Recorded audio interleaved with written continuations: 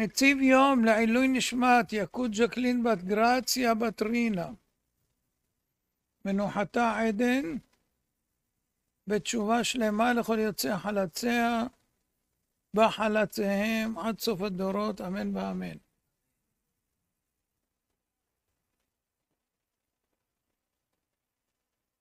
אנחנו מתחילים סדרה חדשה, ושמה הסוד שבך או בך. נאמר עכשיו את המבוא ואת הפרק הראשון, טוב עין הוא יבורך. בקריית ים אמרנו את הפרק השני כבר. אז נחזור לפרק הראשון. לכל אחד יש משאלת לב לחיות חיים יפים וטובים, נפלאים, מאושרים, רוגע ושלווה, שהשמש זורחת ומחייכת אלינו, וכל העולם מאיר פנים לנו.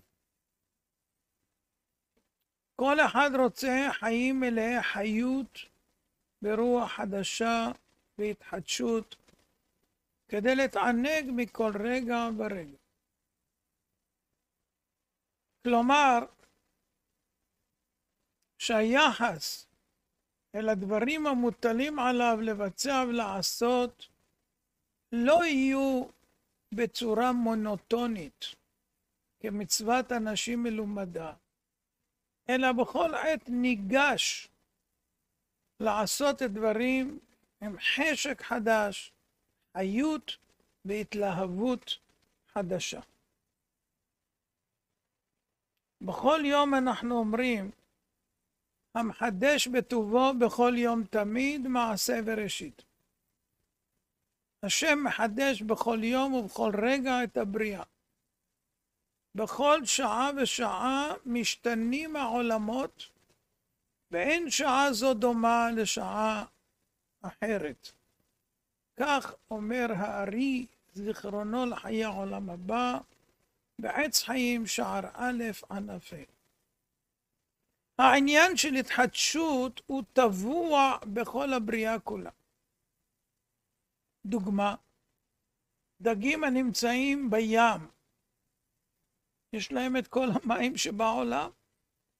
למרות זאת, כשיורד גשם, כולם עולים למעלה וקופצים החוצה כשהפה פעור למעלה, לתפוס טיפות חדשות. יש להם אוקיינוס, אבל הם רוצים משהו חדש, התחדשות. גם הצומח מתחדש בכל עת בחודשי הסתיו. יש לעצים את עונת השלכת, משירים את העלים, ובאביב פריחה מחודשת. הכל מלבלב, צומח ופורח מחדש. התחדשות. כל אחד מעוניין בחיים של שמחה ואושר, לב מלא תקווה ואופטימיות. ההתחדשות מביאה שמחה. מכניסה בלב האדם חיות, תקווה חדשה לחיים שמחים ומאושרים. חיים עם עתיד ורוד יותר. אדם מרשה לעצמו להעלות חיוך על פניו ולקוות להצליח יותר ולזכות יותר. כמו שאנחנו רואים, שאנחנו קונים בגדים חדשים או כלים חדשים, זה מביא שמחה בליבו של אדם. ועל כן מברכים שהחיינו וקיימנו והגיענו לזמן הזה של ההתחדשות, שחידשנו כלים נעים וכו'. כל העניין של התחדשות מסמל שמחה ותקווה והצלחה. מאחר שכל אחד מעוניין ורוצה בחיים כאלה ובהתחדשות תמידית, אז אם הוא רציני, הוא יעשה את כל הפעולות לממש זאת. אבל מנגד, יש הפתעות בחיים, יש הרפתקאות, האשליה שאדם הולך להתנהל על מי מנוחות כפי רצונו, מתפוצצת לו בפנים. ומוצא את עצמו מתמודד עם הרבה אכזבות, תסכולים וקושיות, וכל זה לאורך מסע החיים שלו. אז יש ציפיות ויש אכזבות. בחיים יש שלושה סוגים של ציפיות ואכזבות. אחד, זה מהשם יתברך, יש ציפיות וחלילה אכזבות. מהסובבים אותנו, שיש לנו מהם ציפיות ולפעמים אכזבות. ומעצמנו, גם כן יש לנו ציפיות ואכזבות. הציפיות מהשם יתברך הם גם ברוחניות וגם בגשמיות. ברוחניות אנחנו מצפים מהשם יתברך שייתן לנו את הכלים לעבוד אותו, לעשות את רצונו, ללא קשיים ומאבקים מיותרים. יעניק לנו לממש את כוחותינו הגלומים בנו, באופן שנוכל לעשות רצונו של הבורא ומה שמצפה מאיתנו. בגשמיות יש לנו ציפיות מהשם יתברך, שיעזור לנו להעביר את ה-70, 80, 90, 100 שנה נעימים, עם בריאות איתנה, עם אישה טובה, ילדים טובים ומחונכים, פרנסה בשפע, בית יפה, אם אפשר גם חצר קטנה, לא יזיק. כך שבאופן כללי החיים התנהלו בסביבה סבירה, בלי בעיות מיוחדות. אבל מה קורה? ברגע שאדם לא מקבל את כל התוכניות והרצונות, הוא מתאכזב. אמנם חלק מהדברים מתקיימים, אבל בדרך כלל החלק הגדול של הציפיות לא מתקיים. ואז יש אכזבה, חס ושלום, מהשם יתברך. אסור להגיד, אבל זה המציאות. ואז מתרעם אדם על השם יתברך וחושב, אם אבא שבשמיים רוצה שאני אעבוד אותו, שייתן לי את הילדים שלו. ילדים שהוא רוצה, שיהיו צדיקים, בלי קשיים מיותרים. אם הוא רוצה שאני אקיים את החלק שלי, תרי"ג מצוות, אני מצפה גם שהוא יקיים את החלק שלו, אוי ואבוי. בני חיה ומזונה, ייתן לי בנים ובנים טובים, ייתן לי חיים וחיים ארוכים וטובים, ומזונות ופרנסה בשפע. אז זה הציפיות שיש לאדם מהשם יתברך. לא כולם הם כמו שתיארנו, אבל רובה דרובה זה ככה. אחרי כן, יש ציפיות מהסובבים אותנו. דבר ראשון זה מהסביבה הקרובה. מצפים מבני המשפחה, מהחברים הקרובים, שישימו לב אלינו, לא יתעלמו מאיתנו, ישתתפו איתנו בשעת שמחה, ואם חלילה בשעת צרה, שיבינו את הקשיים שלנו, שיעזרו לנו במידת האפשר, ואפילו מעבר לזה. זה הציפיות מהסביבה הקרובה. ומהסביבה הרחוקה, אנחנו מצפים להתנהלות בריאה וליחס נאות. וכאשר חלילה הסביבה לא עומדת בציפיות שלנו, ולפעמים לא רק שהאנשים הקרובים לא מבינים אותנו, אלא הם גם מצטרפים נגדנו ומגבירים את הקשיים שלנו. במקום שישמשו לנו כאוזן קשבת, הם דווקא מסבירים לנו למה אנחנו אשמים. במצב כזה אנחנו מרגישים אכזבה מהחברים ומהקרובים. אמנם אנחנו יודעים שהכל משמיים, וגם הקרוב שלנו והחבר הם שליחים משמיים לבצע את מה שקורה בעצם, אבל בכל זאת בליבנו מנקרת קושייה, למה דווקא הוא נבחר להיות השליח? הרי אמרו מגלגלים זכות על ידי זכאי ומגלגלים חובה על ידי חייב. אחרי זה יש לנו ציפיות מעצמנו. זו הנקודה הקשה ביותר. אנחנו מצפים להתנהלות מסוימת. למשל, אתם שומעים עכשיו את הדרשה הזאת, או ששמעתם כבר דרשות בעבר, או למדתם בספר שגרם לכם התעוררות גדולה, והחלטתם להשתנות. ואז אומר הבן אדם, זהו, תפסתי את הנקודה. חבל לבזבז את החיים על שטויות.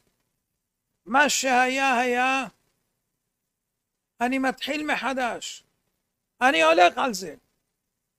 מה שהיה היה. העיקר להתחיל מההתחלה. בהרצאה האחרונה היה מישהו איתנו באוטו שאמר שתפסה אותו נקודה אחת בתוך הדרשה שהוא אמר זהו, זהו, צריך לאמץ לעצמו. שאלתי אותו מה הנקודה, הוא לא זוכר. אז כבר תפס אותו משהו והוא לא זוכר מה תפס אותו. אתם מבינים איך זה עובד? נו, אז איך הוא לא יתאכזב? אבל גם אם תפסת ואתה זוכר באותו יום, באותו רגע, במקרה הטוב זה תופס רק ליומיים, לפעמים שעתיים, לפעמים דקותיים. התלהבות, החלטה, אין קיום. הרבה פעמים אדם מסתכל על עצמו אחרי כמה שנים וחושב באכזבה, לא לזה התכוונתי. זו בכלל לא התמונה שתכננתי לעצמי. איפה כל מה שציפיתי מעצמי? זה בכלל לא אני. עברו שנים ופתאום הוא נזכר שהוא בכלל לא בכיוון.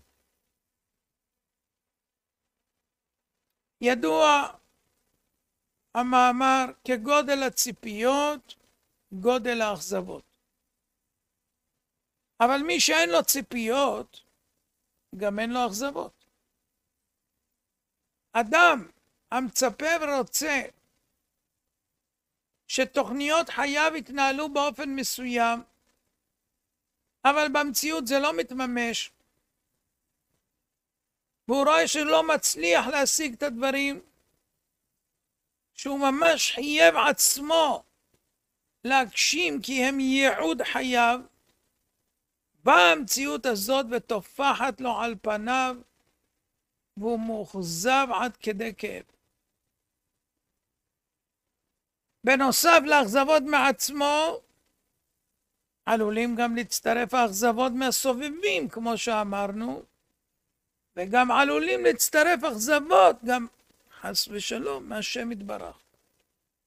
במצב כזה שאדם מלא מלא אכזבות מכל העולם, הוא עלול חלילה ליפול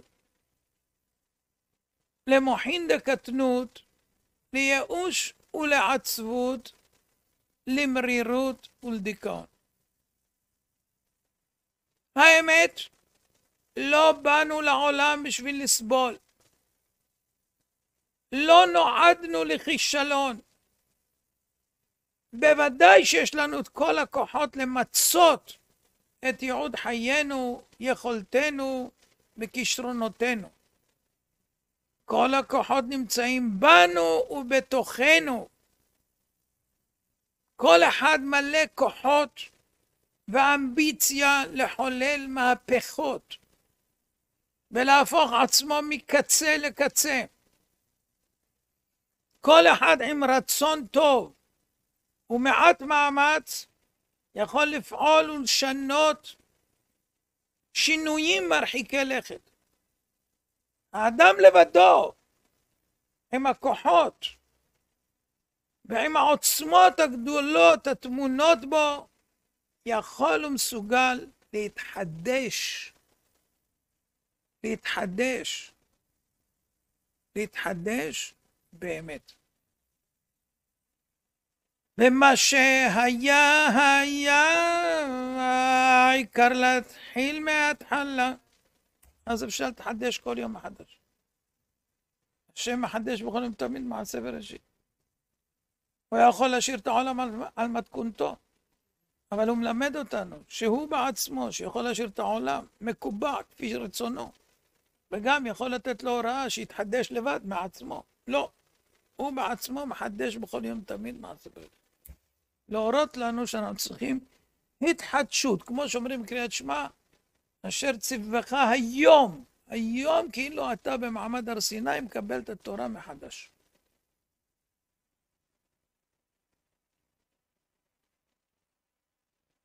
טוב, אז נשאלת השאלה, איפה כל הכוחות האלה שמדברים פה?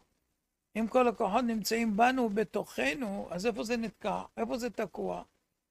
איפה נעלמו כל הרצונות וכל הכוחות הנפלאים האלה שטמונים בנו מעצם בריאתנו? איפה כל העוצמות האלה ולמה לא באות לידי ביטוי? למה אנחנו מתעוררים ליום אפור, שגרתי, נדוש ומייגע? חוץ מאיתנו, אנחנו כל יום שרים ושמחת בימיך והיית אך שמח ושמחת בימיך והיית אך שמח.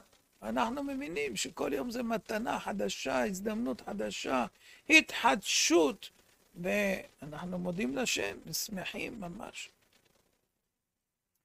אבל אלה שלא, מה קרה? למה הלב שלהם, במקום לבעור, להתלהב אל השם יתברך, הם נמשכים להבלים, תאוות העולם הזה, ושוקעים אחר כך בדיכאונות, כי אין אדם מת וחצי תאוותו בידו.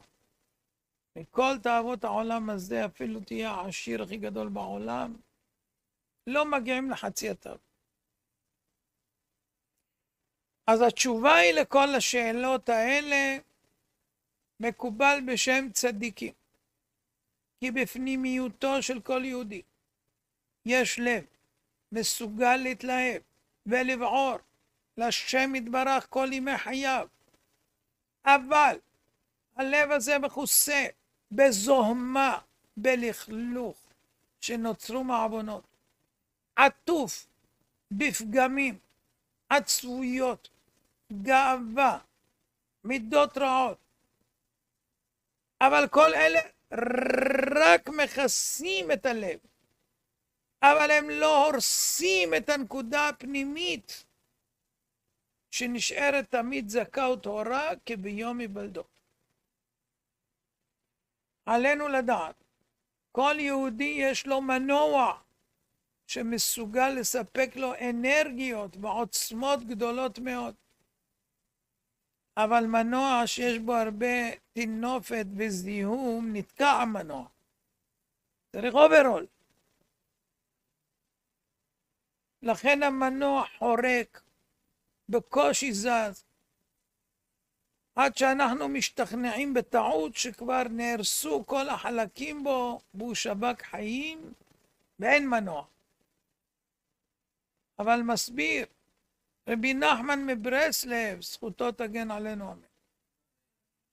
וצריכין לנשוב בבחינת רוחם על כל אחד מישראל, שהם ליבא דעלמא, לנפח מהם את האפרוריות, דהיינו את המרה שחורה שנופלת עליהם, שעל ידי זה לא יכול איש ישראלי שהוא בחינת לב לדלוק ולבעור לשם יתברך. אז צריך להפיח בו רוח, לסלק את כל הטינופת שיש בפנים. בקיצור, צריך להחזיר אותו בתשובה.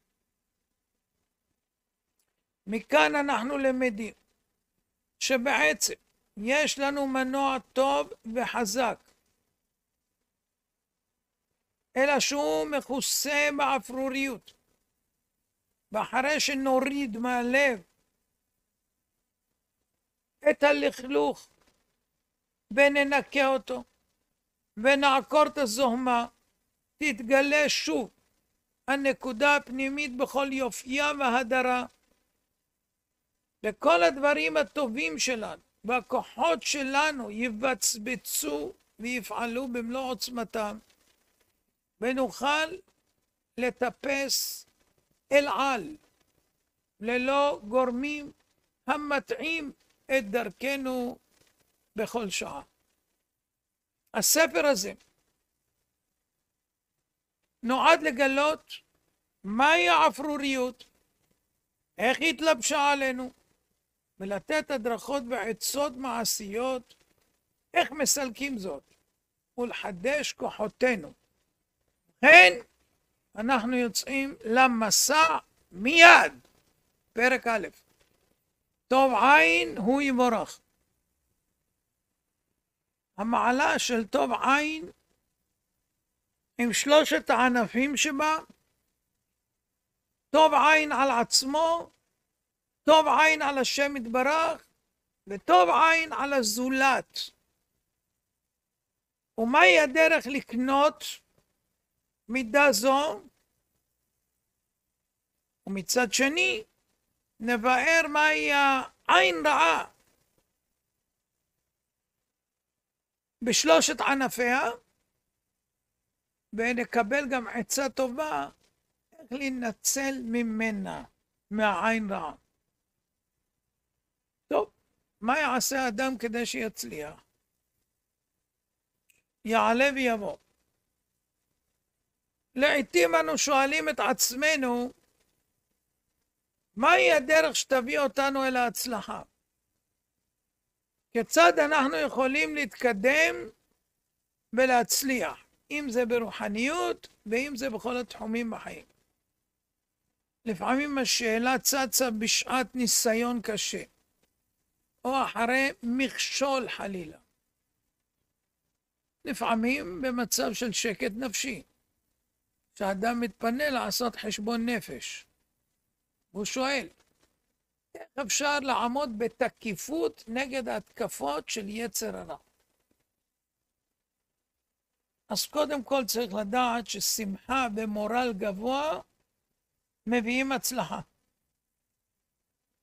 כולנו מודעים שבמצב של רוח מרומם, אנו מתמלאים בכוחות רוחניים נעלים הטמונים בנו, רוח התרוממות שורה עלינו.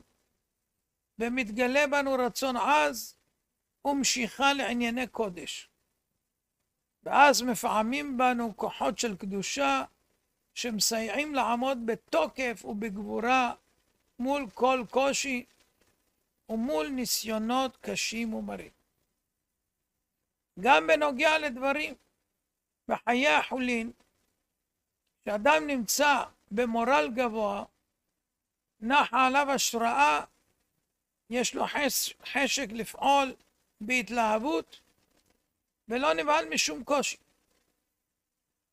אבל אם חלילה שרויים במצב רוח מדוכדך, המורל נמוך, הכל נראה שחור ורע, נמצאים בנמיכות רוח, שפופים, מדוכדכים, אין חשק לעשות כלום. כלומר, הכל תלוי במורל וברוח. רוח טובה ומורל גבוה מביאים הצלחה. רוח ירודה ומורל נמוך מביאים נפילות וכישלונות. אל אשר יהיה שמה הרוח ללכת, ילכו. היסוד הזה מוזכר בתיקוני הזוהר הקדוש, וזה לשונו. אל אשר יהיה שמה הרוח ללכת, ילכו. הכ הם מתנהגין ערכין דליבה לגבי רוחה. כלומר, העורקים של הלב, שהם הרצונות והאנרגיות שלנו, הם נמשכים אחר הרוח, והכוונה רוח החיים, המורל. רבי נחמן מוסיף באור לדברי הזוהר הקדוש, כי דרכה של הרוח ללבות אש. כמו כן רוח חיים מלבה אש קודש שבלב של כל יהודי, ומעוררת את הלב של ישראל לדלוק ולבעור לשם יתברך. טוב, הבנו, תלוי במורל. איך מרימים את המורל? המצב הוא לא קבוע, משתנה לסירוגין. לפעמים דרסטית ומהיר, לפעמים איטי ומתון. אבל תמיד יש תנודות במצבי הרוח. מה הסיבה שיש שינויים? כי זה פועל יוצא מכישלונות והצלחות שלנו. לפעמים הכל זורח ולפעמים צונח. לפעמים עולים השמיימה, הכל מאיר פנים, הכל לפי התוכנית, מצב הרוח מטפס ועולה, שמחים ומרוצים. לפעמים יורדים תהומות, כלום לא הולך, ומרגישים, היום הזה לא שלנו. ואם כן, השאלה הקודמת, כיצד אפשר להצליח בחיים? איך אפשר לעמוד במתקפות של יצר הרע? אז זה מתחלף עכשיו בשאלות הבאות. האם יש דרך ואפשרות להעלות את מצב הרוח?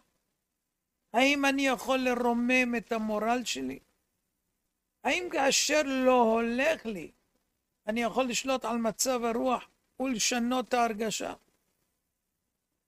השאלה, התשובה לכל השאלות האלה, התשובה לכל השאלות האלה היא אחת. עין טובה. אפשר להעלות את המורל. אפשר לשנות כל מצב. איך? על ידי עין טובה. כלומר, עין טובה על עצמי. במילים אחרות, דימוי עצמי חיובי. אני מסתכל על עצמי כל הזמן בחיוב. בהסבר לכך, הרגשות של האדם תלויות בהסתכלות שלו על עצמו. כאשר אדם יש לו עין טובה על עצמו ודימוי עצמי חיובי, יש לו גם הרגשה חיובית. ואז המורל עולה ומטפס. ואז יש רצונות וחשק חדש, וכל העוצמות והכוחות הטמונים בו מתגלים ויוצאים. יש לו כוח לעמוד מול הקשיים בכל הניסיונות וההרפתקאות שבחיים. אבל אם יש לו עין רעה על עצמו, ונראה לו שהוא לא בסדר, ושמזלו גרוע, זה גורם שמצב רוחו יהיה שלילי, ומורלו בשפל המדרגה. לסיכום, הדרך להצלחה עוברת בעין טובה של האדם על עצמו, ושיהיה לו דימוי עצמי חיובי. טוב, עכשיו נשאלת השאלה, איך בונים דימוי עצמי חיובי? ככה הבן שואל. הרי אנחנו מכירים היטב את עצמנו. ומודעים לכל חסרונותינו. התשובה לכך, עלינו להתמקד בחלקים הטובים שבנו. אמנם זה נכון שאדם צריך להיות מודע לחסרונותיו, ולא להתעלם מהחלקים הטעונים שיפור, וצריך גם להקדיש זמן לחשבון נפש בעניין זה, אבל שאר הזמן צריך להיות בשמחה, בשמחה תמיד, כדי שכל אותם חסרונות לא ידכאו ולא יתסכלו אותנו. ועלינו להתמקד במשך רוב הזמן רק בדברים הטובים שלנו, ולשמור עין טובה על עצמנו. לדוגמה, אדם לקוי במידת הכעס, הוא מבחין שהוא כל פעם רותח. אל לו להסתכל על עצמו כל היום כעל אדם שלילי ולהישבר מכך, אלא עליו להתבונן גם מצד שני שיש לו מעלות רבות אחרות.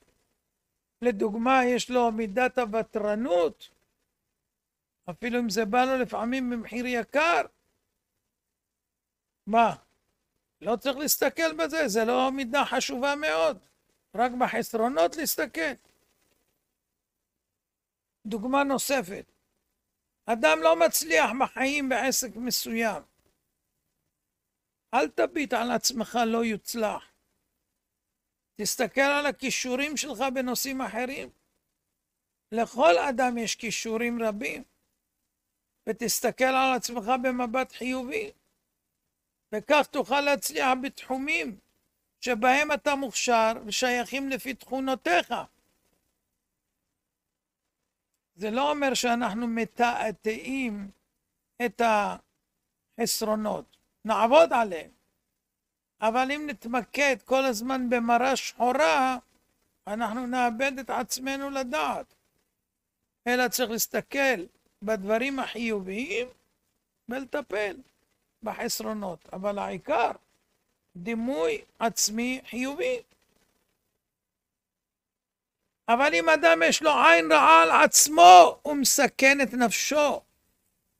אדם במצב רוח ירוד, והמורל שלו נמוך. זה חלילה כמו אדם שחונק את עצמו בידיים, ואין לו אוויר.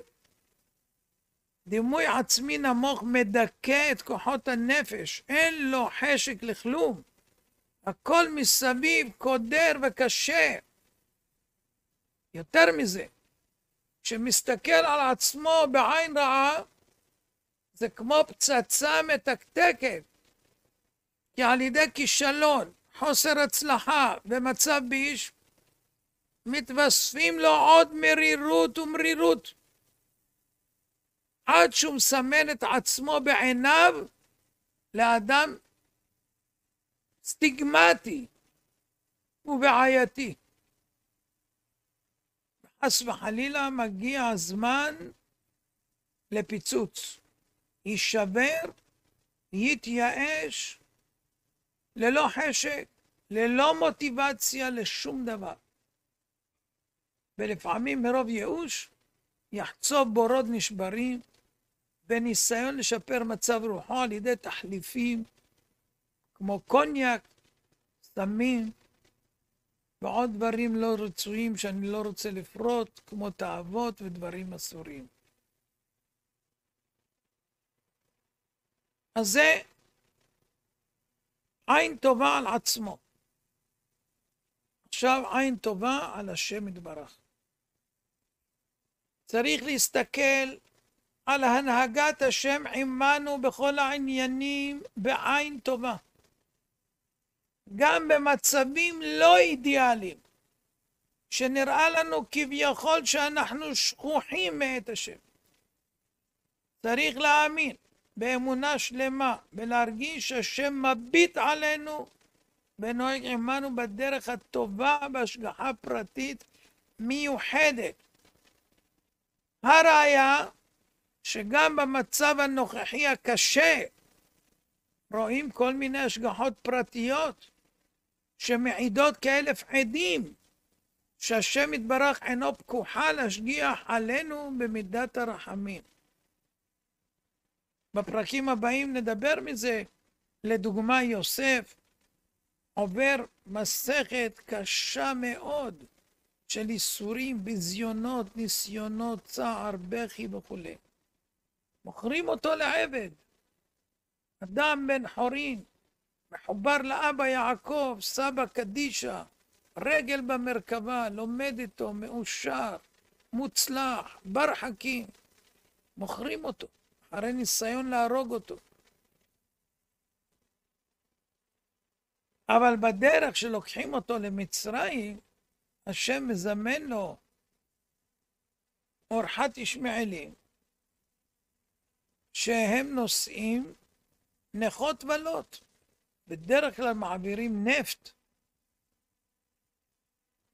ופתאום מגיעה שיירה שיש בה בשמים. כל הדרך עד מצרים, השם נותן לו להריח בשמים. אז נשאל, נשאל, הוא לא היה מוכן להחליף את הבשמים האלה בחירות? הולכים לקחת אותו לעבד. בכל הדרך בשמים, בסדר, אבל לאן הוא הולך? ועוד מחכה לו בצוהר, וכולי. בהאשמות, בעלילות, בניסיונות. כן, אבל אתה רואה, עם כל הצרה הזאת, יכול הקדוש ברוך הוא להביא אותך באורחת ישמעאלים רגילה שיש בה נפט גם, ויהיה לך גם נפט באף כל הדרך. אז רואים שהשם מחייך מתוך הצרות גם. ומשנה את הסדר. בדרך כלל זה ככה, ומשנה לבשמים. אתה רואה שגם בתוך הבעיות והצרות יש גם הערות, חיוכים, להראות אני פה, אני פה, אל תדאג.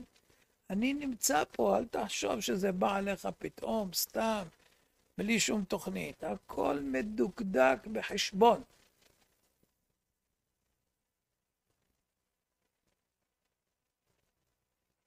לולא עין טובה שתהיה לנו על השם, גם אם יש לאדם אמונה שיש לקדוש ברוך הוא מספיק סיבות מוצדקות להתנהג עמנו בדרך קשה, אבל עדיין יכולות מחשבות להציק לאדם ולומר לו, המציאות היא שלא טוב לי בחיים, מאוד קשה לי. למה הקדוש ברוך הוא לא מתחשב ועוזר לי קצת? וכי מידת הרחמים לא יכולה לתת לי קצת יותר הצלחה, קצת יותר מזל? כדי לא להיכשל חלילה בטרוניה כלפי מעלה, עלינו חובה לרכוש עין טובה על השם. דהיינו יכולת ראייה שכל הנהגת השם היא דרך הטובה הנצחית לכל אחד ואחד.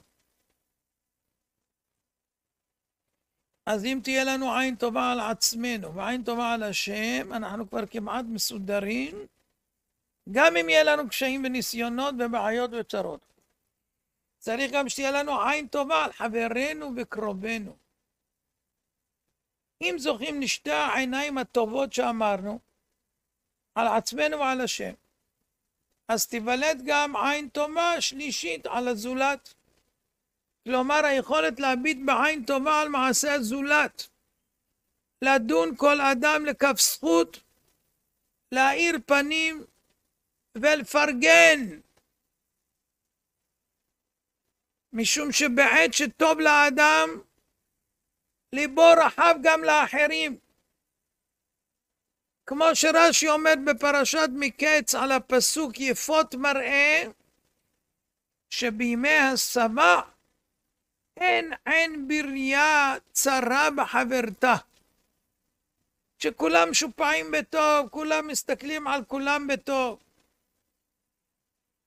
אבל אם האדם לא ניחן בעין טובה על עצמו, ולא בעין טובה על השם יתברך, התוצאה תהיה שהוא יהיה גם רע עין לסובב אותו, לא יהיה מסוגל לפרגן לאף אחד, לא להאיר פנים, ויראה בכולם רק שלילי. ויתעוררו לו חשדות באחרים שרוצים להכשילו ולהרע לו וכולי. דמיונס. סיכום, עין טובה על עצמו. זה דימוי עצמי חיובי והסתכלות חיובית שלנו על עצמנו, יגרום לנו להרגשה כללית טובה, גם כן במצב העכשווי שלנו, איזה שלא יהיה, גם ברוחניות וגם בגשמיות. ואין הכוונה לרמות את עצמנו לטמון את הראש כבת יענה, לחשוב שאנחנו צדיקים, יסודי עולם, אלא להיות ממוקדים בחלק הטוב שבנו, לשמוח בחלק הזה. למרות שאנחנו נהיה מודעים כמובן לחסרונות, ונעבוד לשפר ולתקן.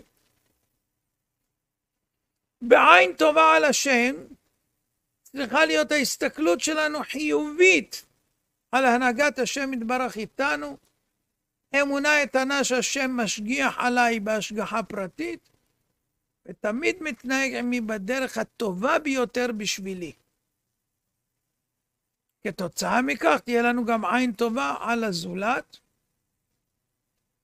נוכל לראות בכל אחד את הטוב שבו, נסתכל באופן חיובי על הסובבים, ויהיה לנו כוח ורצון להאיר פנים ולפרגן. זה הצד של העין טובה בשלוש הבחינות. מצד שני, יש את העין רעה של אדם שרואה על עצמו, על השם יתברך ועל הסובבים. מה זה עין רעה על עצמו? דימוי עצמי שלילי, הסתכלות בעין רעה על המצב שלו, מזלו, והכל אצלו קשה ולא מוצלח וכו'. מה זה עין רעה על השם? מסתכל באופן שלילי על הנהגת השם, וכאילו הקדוש ברוך הוא מקשה עליו בחיים, והכל הכל רק דינים. חס ושלום. וכתוצאה מכך ודאי שיש לו גם עין רעה לזולת, רואה רק מגרעות וחסרונות בכל אחד, ולא מסוגל לפרגן ולהאיר פנים. אבל חשוב לדעת, לא כל העיתים ולא כל האנשים שווים. לעתים נראה בדבר הזה שוני בין אנשים, או שוני בתקופות מסוימות. כשם שאין פרצופיהם שווים, כך אין דעותיהן שוות. כל אדם יש לו אופי משלו. יש אנשים מטבעם אופטימיים, יש אנשים פסימיים, יש אנשים בקלות ראש לוקחים כל דבר. יש אנשים כל דבר בכובד ראש, ברצינות יתר. כל אחד קיבל כלים שונים מהשם יתברך בניסיון חייו. גם לא כל העיתים שוות, לטובה. יש זמנים של מצב רוח טוב, וקל לקבל בעין טובה את כל המאורעות של החיים, גם אלה שלא מסתדרים. ויש זמנים שלוקחים הכל שחור משחור, בצורה מאוד קשה. וזה תלוי בהמון פרטים, וחלקם גם בתת מודע, שאדם לא מודע להם. הם פועלים עליו מהתת מודע. והפרטים תלויים גם בסביבה, תלויים בנפש. הכל מרכיב את ההרגשה הנפשית ואת מצב הרוח. הכל מגיע אבל בחשבון מכוון מרצון הבורא יתברך שמו, שהוא משפיע עלינו מינון מדויק, מכוון לניסיון הספציפי הזה ולזמן הספציפי הזה. רבי נחמן כותב כי בשעת ניסיון נוטלים מן האדם את הדעת. דהיינו מורידים את האדם ממדרגתו לצורך הניסיון. כלומר, אצל כל סוגי האנשים, למרות רום המדרגה שכבר זכו להגיע אליה, כשמגיע לפניהם ניסיון, הם צריכים להתמודד עם קושי. שעת הניסיון היא החזית האמיתית שאדם צריך להתמודד איתה. זה יכול להיות בזמן מצוקה, או בשעה של עצבות.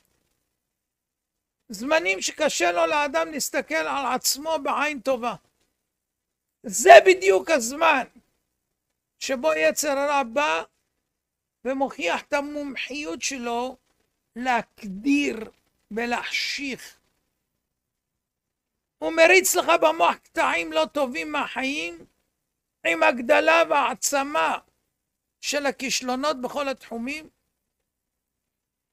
וגורם לך להרגיש לא מוצלח ומגביר בך תחושה של חוסר אונים וייאוש מוחלט. ואז צצות ועולות תלונות קשות על השם יתברך. למה הוא לא מושיע אותי? איפה נעלמו הרחמים הגדולים? איך זה שהכל מתנהג אצלי רק בדינים בלי טיפת רחמים?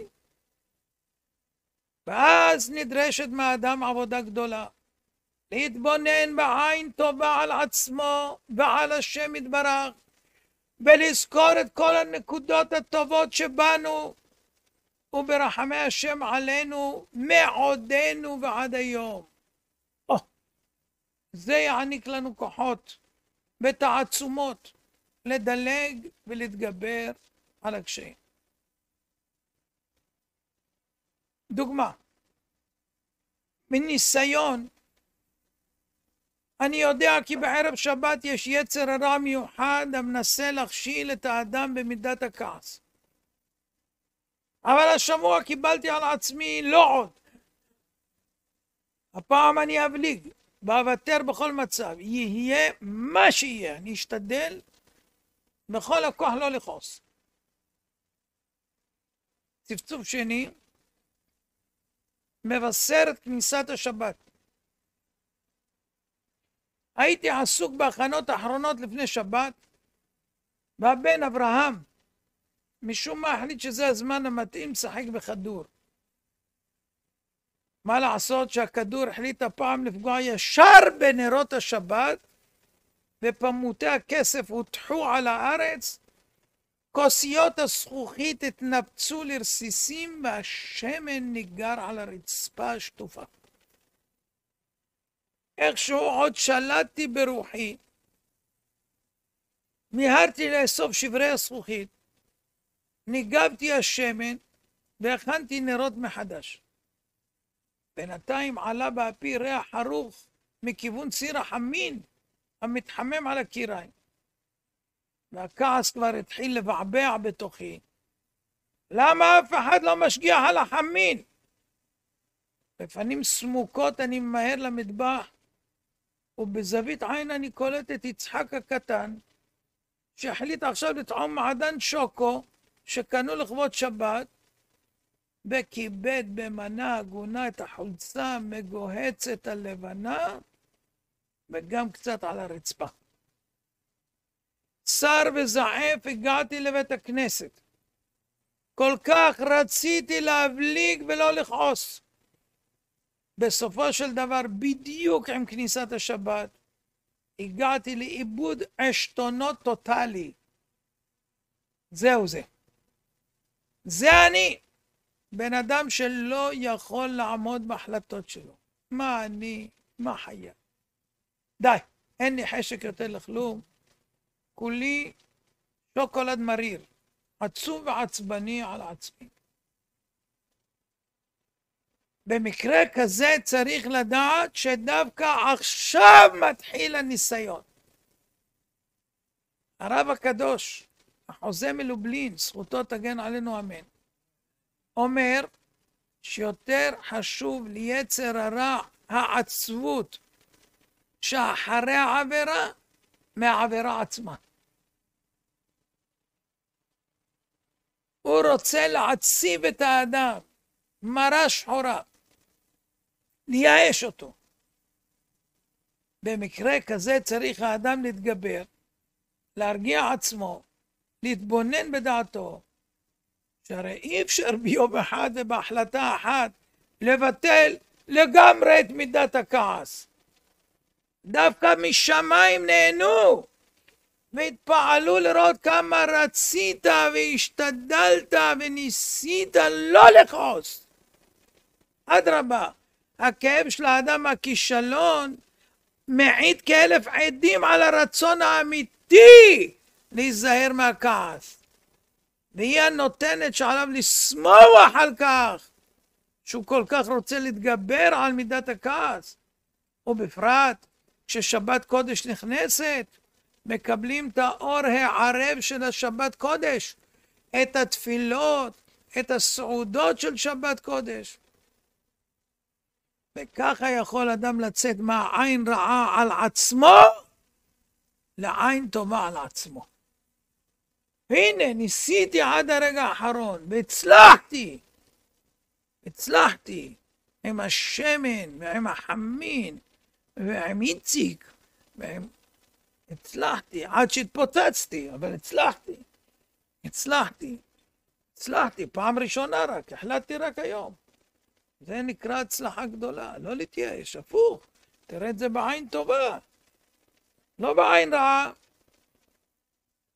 דוגמה, בסוף היום, אחר יום מפרך, בעבודה, בדרך הביתה, רואה בעיני רוחי בית מסודר, מאורגן, הילדים בטח רחוצים, ישנים במיטתם. רעייתי מגישה לי מנה חמה ומשביעה, עם כוס שתייה צוננת, אחר כך קפוצ'ינו. הדמיון נקטע באחת כשפתחתי את הדלת. כל הבית תוהו ובוהו, מלחמת גוג ומגוג, צרחות, ילדים בוקעות רקיעים. מי מדבר בכלל על אוכל מוכן? הרגשתי שהראש שלי מתחיל להסתובב, אכזבה עמוקה מהתפקוד הכושל של הבית. לא שלטתי בעצמי והתחלתי לירות צעקות לכל הכיוונים. הרגשתי ממש שחיי כישלון. תמיד מסביבי הכל לא מסודר. אף פעם לא עושים מה שאני מבקש. ואפילו אם כן, זה לא ממש מדויק איך שרציתי. הכל נראה לי שחור. ורצות לי תמונות של כישלונות שהיו לי בחיים. והרגשתי שאני כישלון מהלך. מי שיש לו עין רעה כזאת על עצמו, יפיל את עצמו לגמרי. יגיע למראה שחורת דיכאונות. יכול גם לפגוע באחרים. אז כדי לא להגיע למצבים כאלה חלילה, חייב להתגבר ולחשוב מחשבות טובות, ולהעלות בזיכרונו את כל ההצלחות שהיו לו בחיים בכל מיני תחומים. גם בנושא האי סדר בבית צריך לשנות חשיבה. קודם כל לברר מה הסיבה לאנדרלמוסיה. אולי אחד הילדים לא הרגיש טוב. וגם אם לא הייתה סיבה, יכול להרגיע את עצמו במחשבה, הרי זה לא תמיד ככה שאני מגיע. יש ימים שבאמת הכל מסודר ומאורגן. בדרך כלל האישה מקבלת אותו בסבר פנים יפות עם ארוחה טובה. וגם כל הבלגן שיש עכשיו בבית, עדיין יש לי את הפינה שלי בבית, שאני יכול להתרווח ולנוח ממהלך יום עמוס. וגם שעל ידי סבל זה חסכו ממני סבל אחר. הרי הקדוש ברוך הוא משלם לאדם לפי מעשיו. יכול לשלם לו ביזיונות ולחצים וכעסים ברחוב מול אנשים, ויכול להיות בתוך הבית שאף אחד לא רואה. זה גם כן הנחה גדולה, לא? ועם סוג מחשבות כאלו של לראות חיובי, אפשר להתאושש ולקבל כוחות חדשים ולצאת מעין הרע. מה אתם אומרים על פוזה כזאת, שהוא בא ורואה את הכל, ואז אומר, חבר'ה, קדימה, כל אחד לוקח משהו, מחזירים כל דבר למקום, טה-טה-טה-טה, ארטיקים בסוף, צ'יק צ'יק צ'יק צ'יק, מי שגומר מהר, טח טח טח טח, מקבל שוקולד חלבי. תראה פתאום את כל הילדים. רצים, מסדרים לך את הבית, צ'יק צ'ק. תלוי איך אתה בא. אם אתה בא בהבנה של דימוי שלילי, תסבול. אם תבוא עם דימוי חיובי, תצליח, תזריח. מכל מצב אתה צריך לצאת מרוצה. מכל מצב. לשמוח. הרי אמרו לנו לברך אפילו על דיין האמת בשמחה, כמו הטוב והמיטיב. אז בית בלאגן זה כמו בית מסודר. בשמחה. מה יותר גרוע? מת שצריך לדבר עליו, לברך עליו דיין האמת בשמחה, זה יותר גרוע מבית מבולגן. צריך לשמוח. קודם כל יש בית, דבר שני, אם יש בלאגן, אז יש דברים בבית. דבר שלישי, אם מישהו עשה את הבלאגן, אז יש ילדים בבית. ודבר שלישי, אם האישה לא הכינה סעודה, אז יש אישה גם בבית. יש לך כל כך הרבה דברים בבית, אז מה אם יש קצת בלאגן? לא נורא. וצריך גם עין טובה על עצמנו בעבר, בהווה ובעתיד. כדי להסתכל בטוב עין על עצמנו, אנחנו צריכים להתבונן על שלושת חלקי החיים גם. על העבר, על ההווה ועל העתיד. בעבר ודאי היו לנו תקופות מאוד יפות בחיים, שהשם האיר לנו פנים וזכינו לכל מיני דברים טובים. אתם כבר לא זוכרים, כן? אנשים זוכרים דרך אגב מה שלא טוב. מה שהיה טוב לא זוכרים. אולי איזה טיולים מיוחדים, משהו, זהו.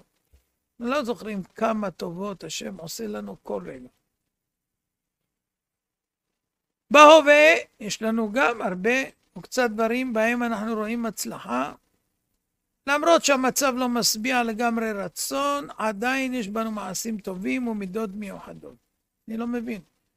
מה בהווה? בהווה אני חי, יש לי עיניים, רואה, שומע, זה מה, מה, מה אדם עוד צריך? לא הבנתי. ואם יש לו, אין לו, ו... עצם זה שאתה חי ואתה בריא, מה אתה רוצה עוד? לא הבנתי. מה יתעונן אדם חי? אתם זוכרים? מה יתעונן אדם חי? כל זמן שאתה חי. בלי עין, בלי אוזן, בלי לסת, בלי יד, בלי, בלי כבד, חצי כבד, אה, בלי רגל, בלי... אתה חי, אתה עדיין חי. חי כל זמן שאתה חי. אתה יכול לשיר, הכל יודוך, ואפילו אם אין לך פה, אתה יכול בלב. הקדוש ברוך הוא שומע גם את הלבבות. מה הבעיה? למה אדם לא שמח? כל רגע של חיים זה זכות לקנות זכויות לחיי העולם הבא אין סוף. אנחנו פה זמניים. חיים פה שאולים. תכף יוצאים. מה שהספקת, הספקת, מה שלא, לא. אבל על הזמן שאתה מתעונן. תשמח. תשמח במה שהשם נותן, תשמח.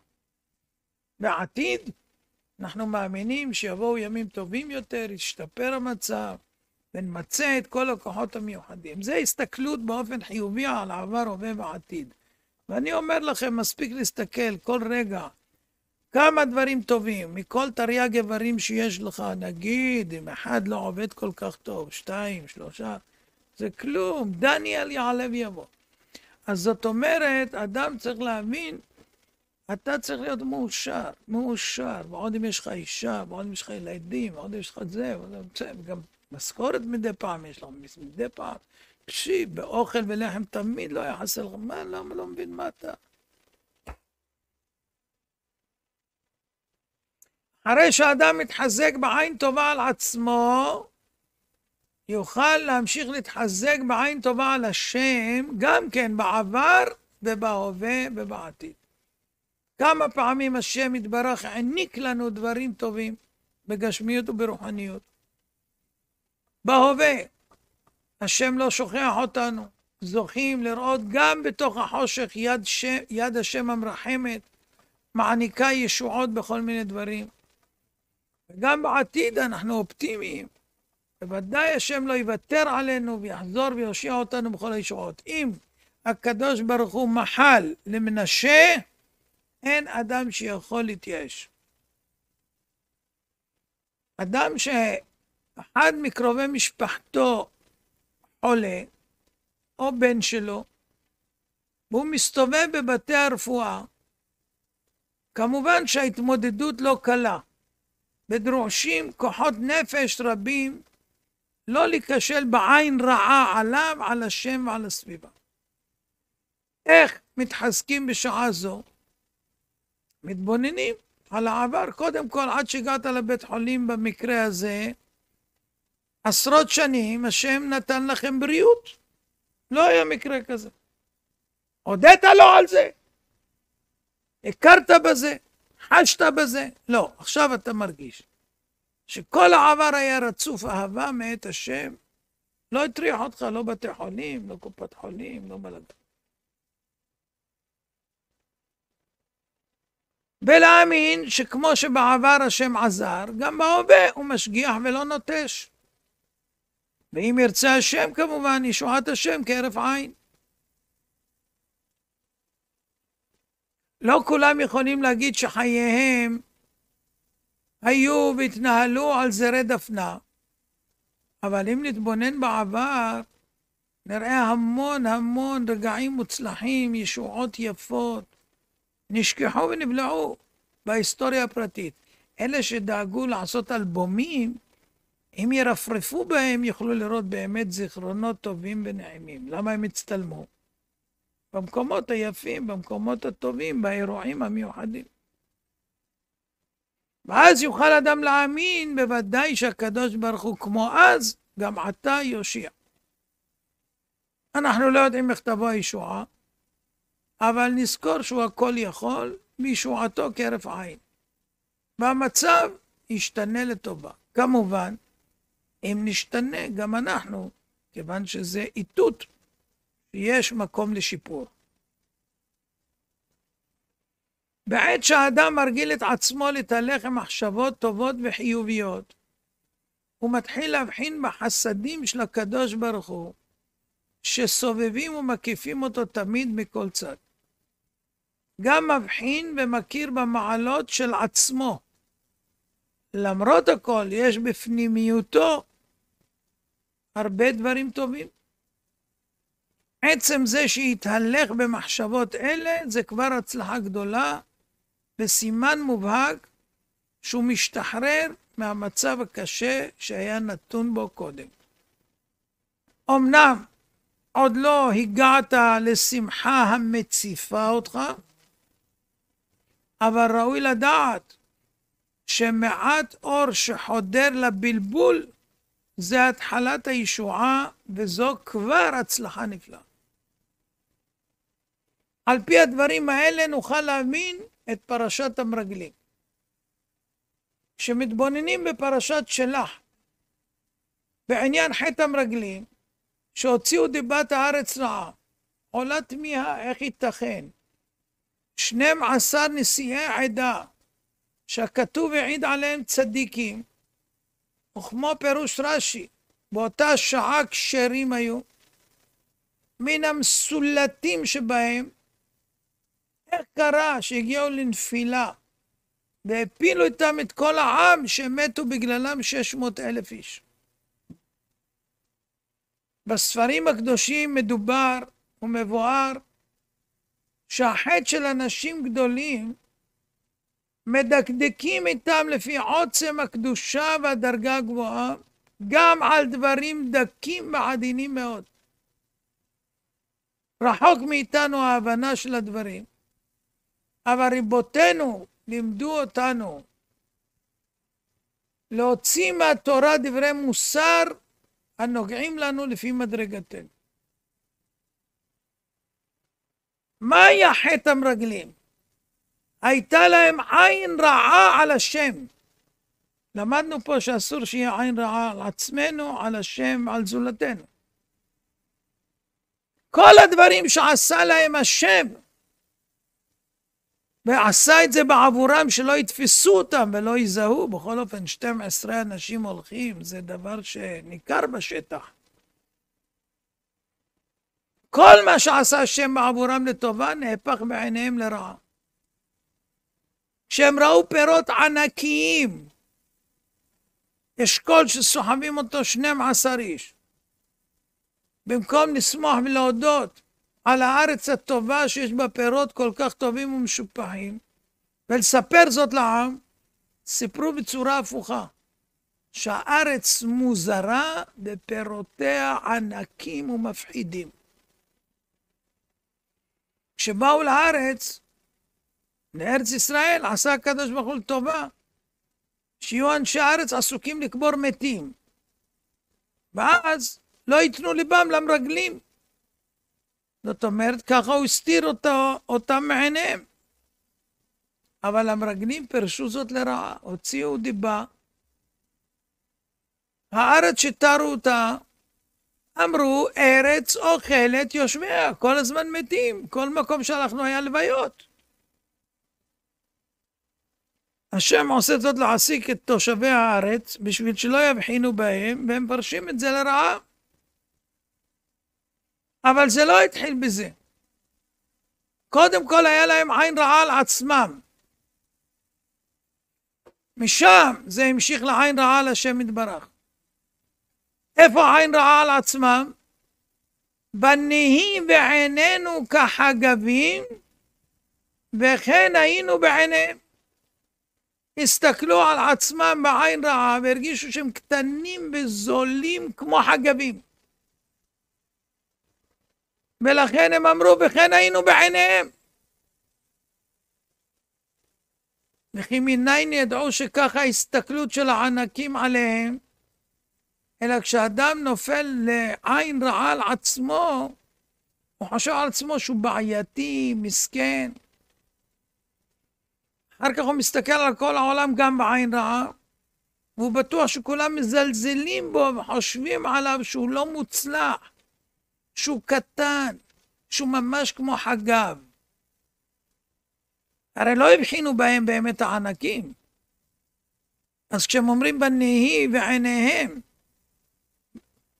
אז הם אומרים בעצם בהסתכלות רעה על עצמם, הם גם מסתכלים שאחרים יסתכלו עליהם כך.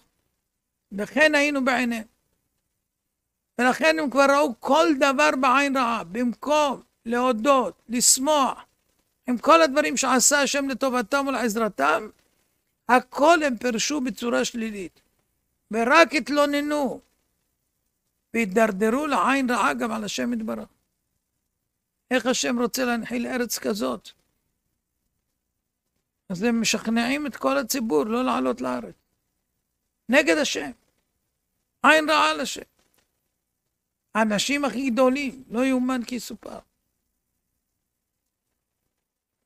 אבל אם אדם מתהלך עם עין טובה על עצמו ומרגיש שהוא שווה, אני לא חגב, יש בי דברים טובים, אני זוכה, זכיתי ועוד אזכה לימים טובים יותר, למעלות יותר. אדם כזה מקבל חשק ואנרגיה חיובית ומצב רוח טוב. וכל הסביבה נראית בעיניו חיובית, ויכול לראות את כל הדברים הטובים שהשם עושה איתו, ואז יש לו עין טובה על עצמו ועל השם יתברך. דברים דומים נרמזים בתורה גם בפרשת חיי שרה. במדרש על הפסוק נבהל להון איש רע עין זה עפרון, שהכניס עין רעה בממונו של צדיק. עפרון לא היה שמח בחלקו. כל המחשבות כיצד להרוויח כסף של השני. ארבע מאות שקל כסף עובר לסוחר עבור מערת המכפלה. כתוב בזוהר הקדוש שאברהם אבינו ראה שיוצאים ממערת המכפלה אורות גדולים ומיוחדים וריחות עליונים מהגן עדן. ועפרון מימיו לא ראה במערה אלא חושך ואפלה. ולכן המערה הייתה מאוסה בעיניו, כי אם היה יודע מה שיש במערה, לא היה מוכר לעולמים. כי כך דרכו של בעל עין הרע. גם אם יזכה אותו השם יתברך, שיהיו בחלקו דברים מיוחדים, שערי גן עדן, וכל החצר שלו מלאה באורות וריחות גן עדן, בגלל שהוא עין הרע. רע עין, הוא לא שמח בחלקו, הוא לא ישים ליבו לכך. ובעיניו יראה שיש לו רק חושך באפלה בחלקו. רבי נתן מברסלב, זכותו תגן עלינו, אומר, עפרון היה בחינת עפר, בחינת הרע נאחז ביסוד העפר, שהוא בחינת ונחש עפר לחמו. בחינת בעפר תאכל כל ימי חייך, שזה בחינת עצבות ועצלות וכבדות הנמשך מהרע שביסוד העפר, שהוא עיקר נשיכת הנחש. בהכנעתו על ידי יסוד העפר שבקדושה, שזה בחינת האמונה. האמונה היא גם בחינת עפר. כמו שכתוב, שכון ארץ ורעה אמונה. ועל כן קנה אברהם את מערת המכפלה. בכוח האמונה זכה אברהם אבינו במערה, שזה תיקון גדול לעצבות וכולי, בחינת הנחש שהיה בעפרון. כלומר, עפרון על ידי העין רעה, שהיה רע עין, בא על ידי עצבות ועצלות, ואף עבר לסטרה אחרה. לעומתו אברהם אבינו, ראש המאמינים, באמונתו הגדולה בשם, היה מלא בטוב עין על השם יתברך, וגם על עצמו, ולכן הוא ניצול מנשיכת הנחש, שזה העצלות והעצבות. ועל ידי הטוב עין שבו אברהם זכה לראות מה שיש במערה של עפרון, מה שעפרון עצמו לא זכה לראות. אחרי שאדם זוכה למידת טוב עין על חברו, הוא יכול לעלות למדרגה נוספת להצלחה של השני ולהגיע לשמחה. לראות הצלחה של השני ולהגיע לשמחה. זה מצינו אצל אהרון הכהן. בשעה שהשם אמר למשה רבנו, הלא אהרון אחיך, וגם הנה יוצא לקראתך, ורעך ושמח בליבו. מפרש רש"י, לא כשאתה סבור שיהיה מקפיד עליך שאתה עולה לגדולה, אלא הקדוש ברוך הוא מעיד על אהרון הכהן, ליבו מלא שמחה על האח הצעיר משה, שעולה לגדולה ותופס את מקומו בהנהגה. כתוב במדרש, אילו היה יודע אהרון שהכתוב מכתיבו ורעכיו שמח בליבו, בתופים ובמחולות היה יוצא. מקובל לפרש את דברי המדרש, אילו היה אהרון חושב לרגע שיש כאן איזה מעשה חשוב, או דרגה מיוחדת, עד כדי כך שהתורה תציין את זה שהוא שמח כשהוא רואה את אחיו, בוודאי שהוא היה מוסיף ומדר בעניין הזה, ומרבה שמחה על שמחה, ויוצא לקראת משה בתופים ובמחולות. היה לו ברור שזה טבעי שצריך לשמוח שאח שלו עולה לגדולה. אבל אהרון הכהן לא ראה בזה שום דבר מיוחד, כי הלב שלו היה זך וברור. אם אחיו זוכה לגדולה יותר ממנו, למה לא לשמוח איתו מכל הלב?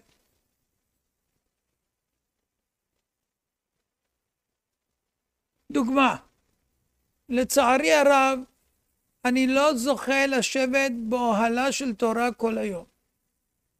בקושי אני מספיק ללמוד את הדף היומי. לעומת זאת, חברי שיחיה, יש לו את הזכות לשבת ללמוד כל היום בכולל שעות רבות, וכעת זכה לסיים מסכת סוכה. כמה צער וחלישות הדעת נגרם לי מסיום המסכת סוכה של חברי. רק הקדוש ברוך הוא יודע. וכמה רצון ותשוקה היה גם לי לסיים מסכת סוכה. אדם שחושב כך, זה נובע מקנאה ומעין רעה, בהצלחה של השני. אדרבה, תשמח בסיום מסכת של חבר. עליך לומר, בוודאי שאני רוצה לעשות נחת רוח לאבא שבשמיים. וגם אני רוצה להביא מתנה סיום מסכת סוכה. לעת עתה לא זכיתי, אבל מצד שני, השם יתברך קיבל את המתנה הזאת מיהודי אחר, ואני שמח מאוד שהשם שמח לקבל את המתנה הזאת מהיהודי האחר. ונעשה לקדוש ברוך הוא שמחה מסיום מסכת סוכה של חברים. מה זה משנה מי נתן לו מתנה לקדוש ברוך הוא? אני או מישהו אחר. העיקר שיש נחת רוח לקדוש ברוך הוא. אבל זה לא עבודה פשוטה לשמוח בהצלחות של השני. ובפרט בדברים שאדם גם חפץ ועמל להשיגם תקופה ארוכה. ושוב ושוב הוא נכשל. ואילו חברו עושה חיל ומצליח, בוודאי שקשה מאוד לשמוח בזה.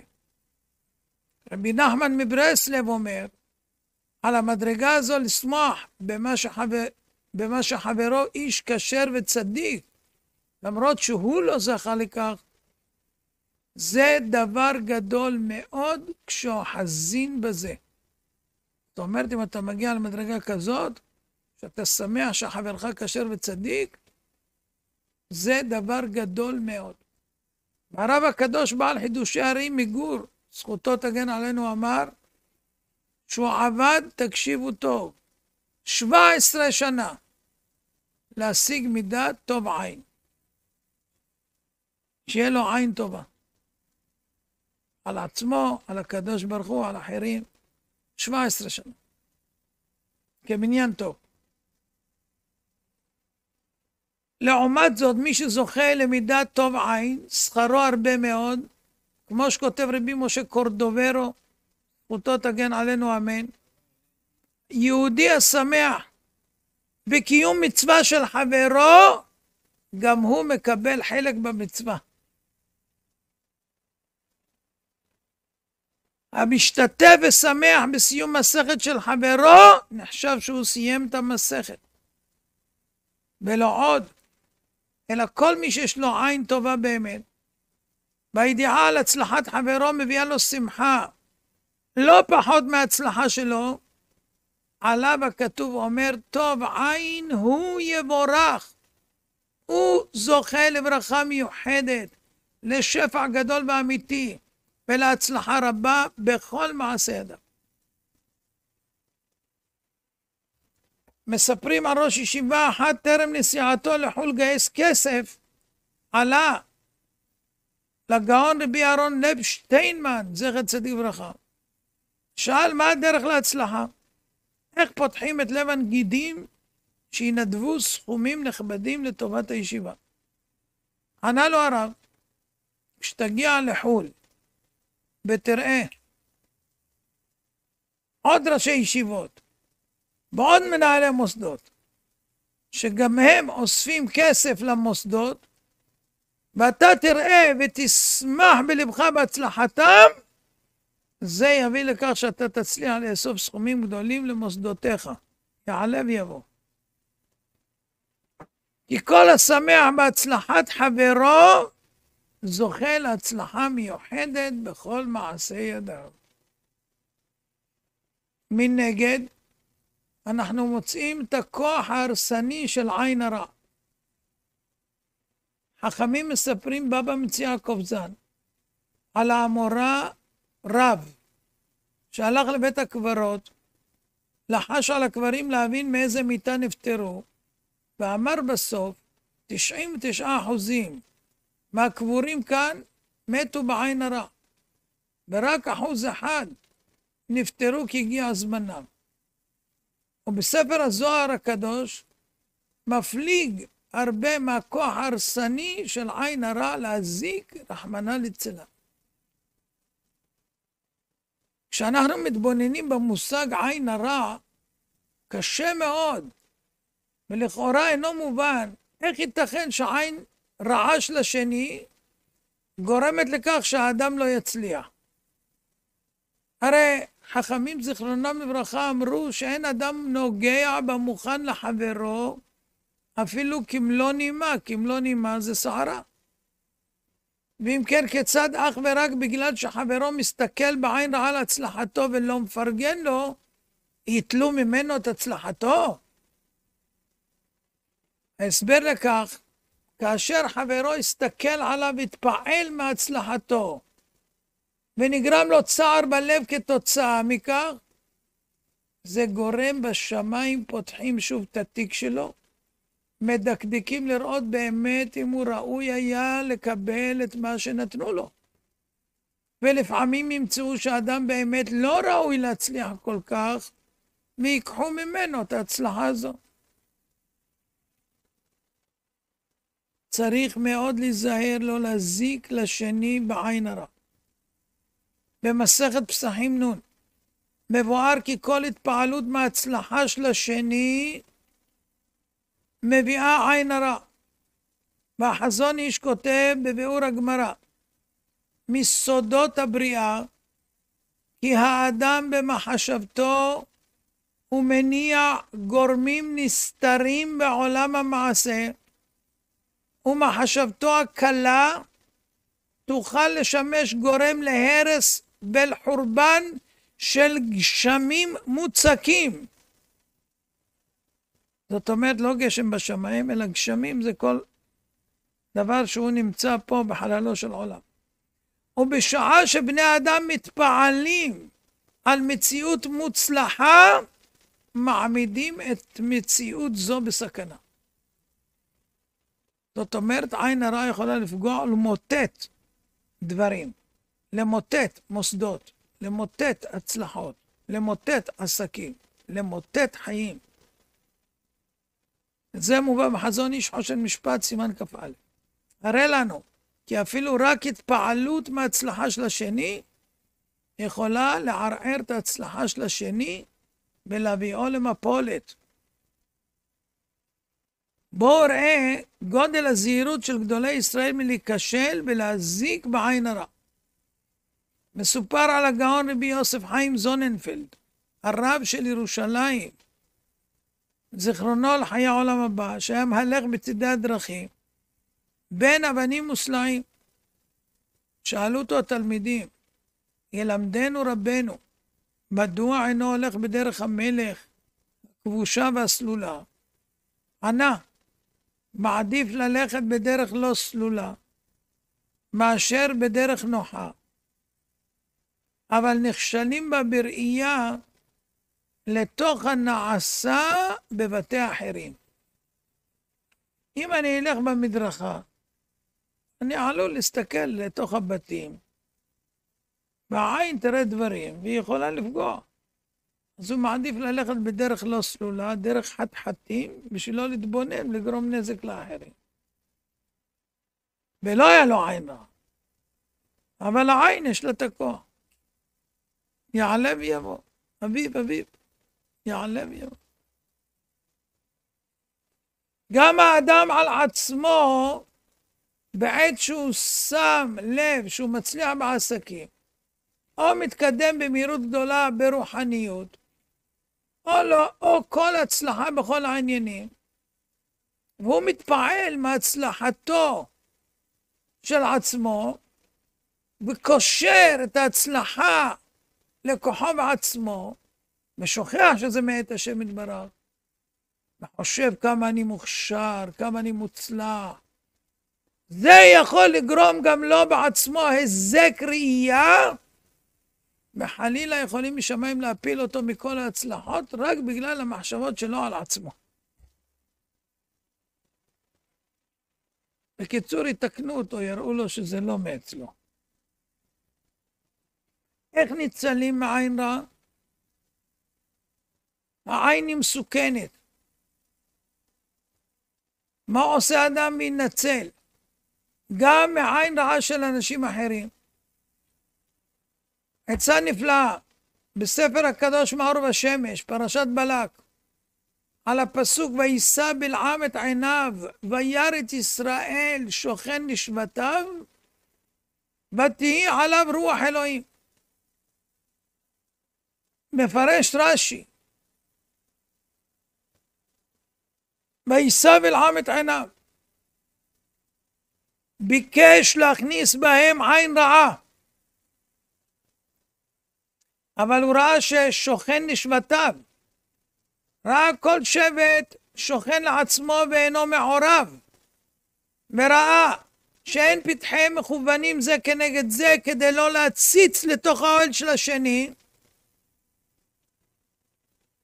בסיום הפסוק ותהיה עליו רוח אלוהים.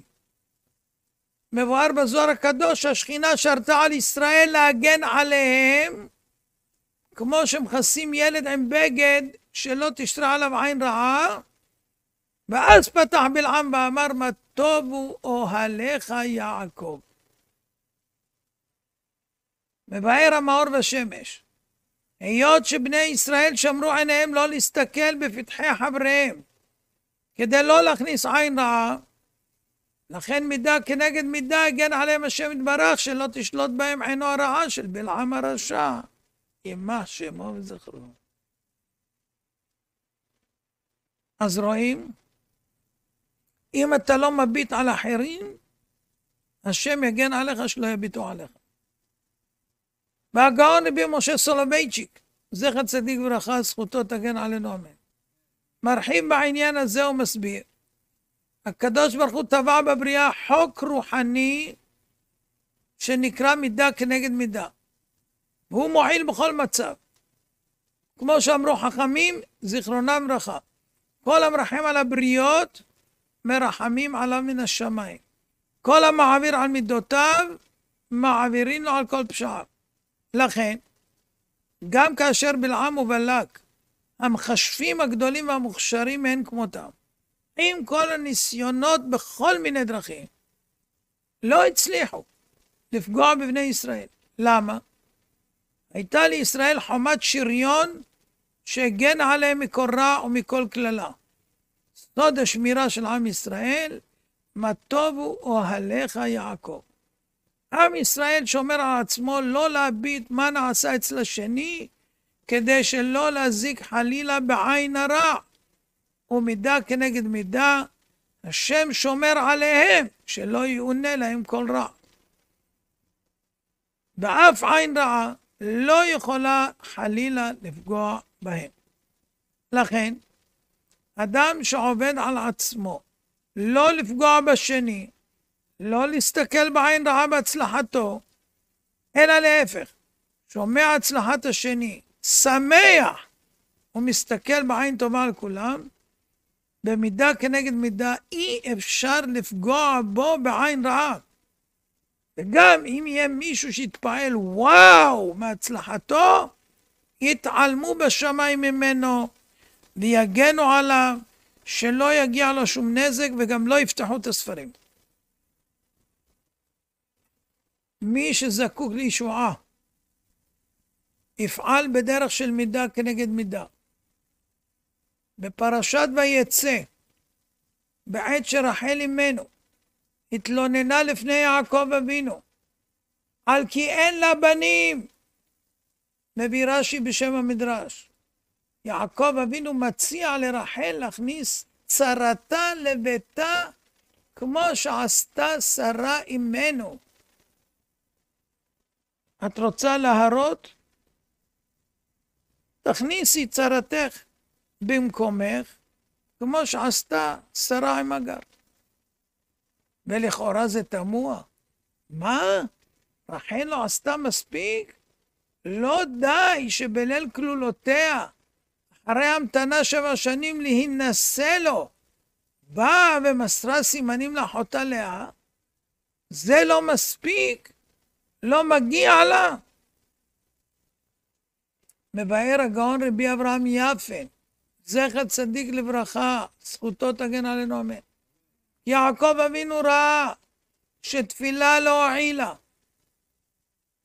ואפילו שערי דמעות ננעלו, ורחל עקרה, ואין כל עצה. ידע שיש רק דרך אחת, להפעיל את הכלל שהשם מנהיג את הבריאה. מידה כנגד מידה. כך אמרו חכמים, כל מידותיו של הקדוש ברוך הוא, מידה כנגד מידה. אם כן, זו הדרך הבטוחה ביותר להשיג כל דבר. אמר יעקב אבינו לרחל, אמנם עשית מעשה שיש בו הקרבה עצומה, מסרת סימנים לאחותך, אבל זה לא מספיק, כי את זקוקה למעשה שיהיה בו מידה כנגד מידה.